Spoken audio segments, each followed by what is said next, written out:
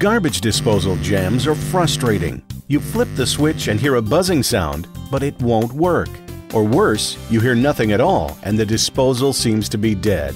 Before you call a plumber, let Roto-Rooter show you how to unjam a garbage disposal like a plumber.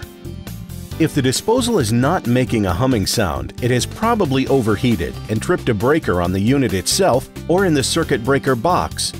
The reset button is just a local circuit breaker, so the first and most obvious thing to do is push the reset button on the bottom of the disposal. After turning off the power switch, press the reset button on the bottom. Turn the power switch back on. If the disposal won't run and isn't making a humming noise, check to see if it's tripped a circuit breaker in your home's breaker box. Sometimes resetting the circuit breaker takes care of the problem, but if the disposal is humming, it probably tripped the breaker in the first place because something is preventing the disposal's flywheel from turning. In other words, it's jammed. Now this is the point where a lot of people simply give up and call Roto-Rooter for help. But watch closely because there are still some things you can try on your own before you call a professional. Your garbage disposal probably came with a key for clearing jams, which for most brands is just a quarter inch hex wrench. Check to see if you have one in your toolbox.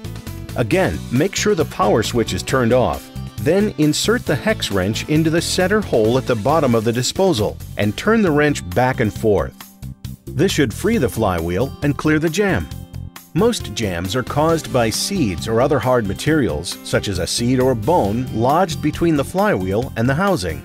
Some disposals don't have the hole in the bottom, but you can still clear the jam by using a dowel rod or the end of a wooden kitchen spoon. After making sure the disposal's power switch is off, push the dowel into the drain hole and hold it firmly against one of the impeller arms. Then push it in the counterclockwise direction. This accomplishes the same thing from the top of the disposal as the jam key does from the bottom. Once the jam is cleared, be sure to let the water run long enough to wash the obstruction down the drain. Avoid putting your hand inside the disposal. If you need to extract something from it, try using a pair of pliers instead. If you've tried all of these fixes and the disposal still isn't working, it's time to call in a professional.